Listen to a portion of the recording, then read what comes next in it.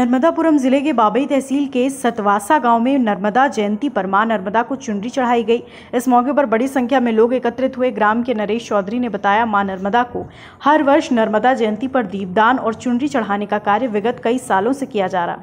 नर्मदा जयंती पर सतवासा, उमरखेड़ी चौरा हेट और क्षेत्र के दूर दराज से लोग नर्मदा जयंती पर यहाँ आते हैं, स्नान और पूजन करने और दीपदान करते हैं। खबर भारतवर्ष के लिए बाबई तहसील के सतवासा गाँव से नरेश कुमार चौधरी की रिपोर्ट। अपने शहर, अपने प्रदेश की ताज़ा खबरों के लिए लाइक करें शेयर करें सब्सक्राइब करें। और हाँ बेल आइकन दबाना ना भूलें, क्योंकि खबर हमारी फैसला जनतंत्र का।